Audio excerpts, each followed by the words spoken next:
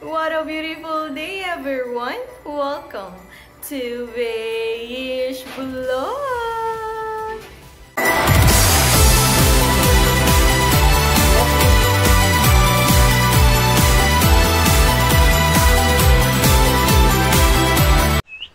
Welcome ulit mga Kabeyish Vlog! Kakasa ka ba sa 24 peso ulam challenge? Ako, kakasa dyan. So tara, simulan na natin! Ito ang kumpletong ingredients para sa ating 24 peso ulam challenge. So meron tayo ditong kangkong worth 5 pesos. And then yung ating tokwa na worth 4 pesos. Yung ating cooking oil na 5 pesos lamang. And syempre, para nandito na lahat, hindi na kailangan ng kahit ano pang pampalasa. Meron tayong oyster sauce na worth 6 pesos at yung ating garlic na 4 pesos. Tara, simulan na natin! Hiwain na natin ang ating tokwa. So, depende sa'yo kung anong gusto mong hiwa. Pero para dito sa dish natin, gusto ko kasi malutong siya, crispy. So, gagawin nating maninipis lang tong hiwa ng tokwa. Make sure lang na malinis yung ating mga kamay bago tayo humawak ng ating food. And then, pipiliin naman natin yung ating mga kangkong leaves. So, in fairness dito sa kangkong na nabili ni mother ah, 5 pesos lang. Sobrang dami na niya. Tapos, napaka-fresh pa niya.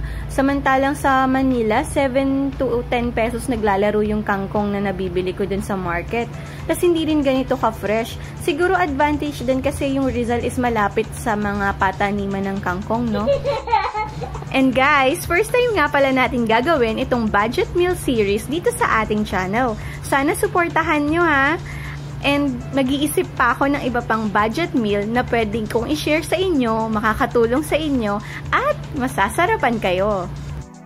And I hope guys na may matulungan talaga tayo, may ma-inspire tayo dito sa ating budget meal series. Why? Kasi naka-community quarantine pa rin tayo. Whether it is MECQ, ECQ, GCQ, pare-parehas lang tayong nahihirapan sa pagbabudget kung ano yung ipapakain natin sa family natin. So, yung mga ganitong kamumurang ulam, makakatulong to for sure. So, as you can see, yung 4 peso garlic natin, hindi natin nilahat. Meaning, magagamit mo pa siya sa iba pang dish. So, nakatipid ka na, ba diba? And, masarap talaga yung garlic dito sa dish na to. By the way guys, yung presyuhan pala ng ating ingredients ay nakabase sa market price or and talipapa price. Iba kasi, iba-iba kasi yung pinagbilan ko nito. Meron sa market and meron sa talipapa. So, hindi naman nagkakalayo yung presyuhan nila. Depende na lang siguro sa lugar nyo kung sa tindahan kayo or sa may malapit na pwesto lang kayo bumili, baka pwedeng mag-iba yung presyo ng ating mga ingredients. Ready na ang ating mga ingredients. So, tara, let's start cooking!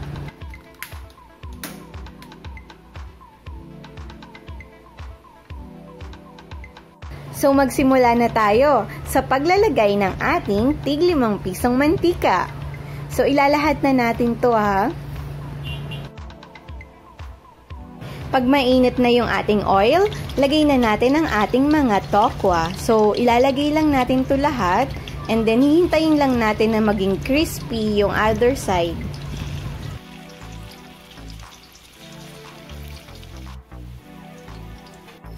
Mukhang okay na yung kabilang side ng ating tokwa. So, kailangan lang natin tong baliktarin isa-isa. And then, hintayin na ulit natin maging malutong yung kabilang side. Aside sa mura yung recipe natin, sobrang easy lang din to gawin. So, kahit sino, pwede itong luto.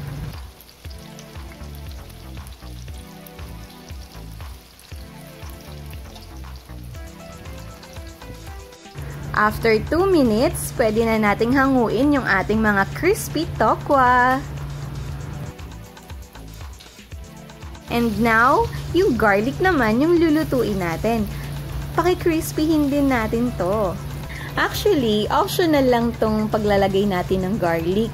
Pero kasi para sa akin, mas masarap yung dish kung may garlic. Pero kung ayaw mo, ikaw yung tao na ayaw mo ng garlic, skip mo na lang yung garlic at makakamura ka pa. Kasi 20 pesos na lang. Tinabi ko na rin pala yung ibang oil and yung ating remaining garlic para sa ating toppings. So now, inad na natin yung ating kangkong leaves. Stir fry mo lang to together with the remaining garlic And preference mo na yan kung anong gusto mo, kung medyo malutong pa, gusto mo para sa kangkong, or katulad ko na gusto ko medyo luto yung kangkong. I think pwede na nating i-add yung ating oyster sauce. Yung oyster sauce na ginamit ko dito is Datu Puti Oyster Sauce. Mas masarap kasi na siya for me. Before kasi I'm a fan of Mama Sita oyster sauce. Pero ngayon, parang mas na-appreciate ko na yung lasa niya. And, nag-decide nga pala ako na oyster sauce yung gamitin natin. Kasi, na, kompleto na siya, ba diba? May alat, may tamis. Pero, kung meron kang soy sauce, may available kang soy sauce, hindi mo kailangan bumili, may asukal ka, you can skip the oyster sauce at mas makakamura ka pa kasi magiging 18 pesos na lang yung ulam mo. So guys, as you can see, na-add na natin yung ibang tokwa natin. So, finishing na lang to kasi pinapakapit ko na lang dun sa ating tokwa yung oyster sauce. And then, plating na tayo. There you have it, guys! My 24 peso ulam! Stir-fry kangkong with tokwa and garlic. So, tara, tikiman na! Tikiman na natin! So, yan, meron akong guest! So, kasama natin siya titikim. So, tara, let's start! O, na, ikaw mauna. Ito yun. Hmm.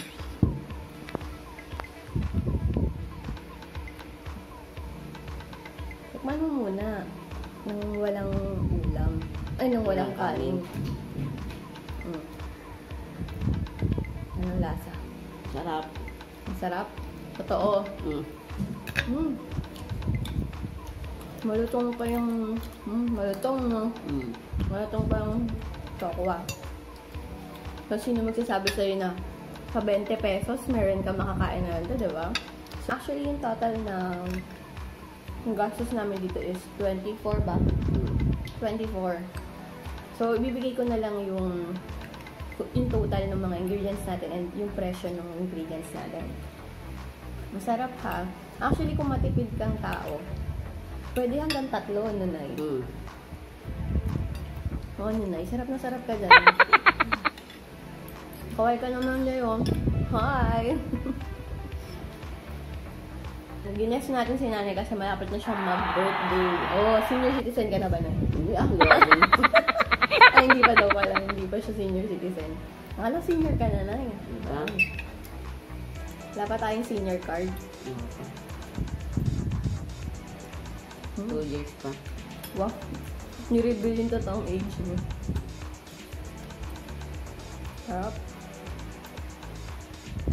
Tamang-tama lang yung luto din yung, yung kangkong natin. Kasi yung kangkong, medyo ano siya eh. Matigas siya kapag hindi mo siya niluto ng ano yun. Kung nagtitipid ka din pala, pwede mo rin siyang, mag, pwede ka pa mag-add ng water kung gusto mo yung may sabaw, no? Mm.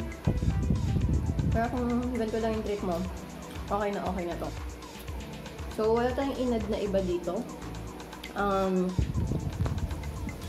so, oyster lang talaga yung nagpalasa dito. So, okay na okay yung oyster sauce na ginamit natin, di ba? Ano na, mukhang kain ka lang ng kain dyan. Sarap eh. Sarap.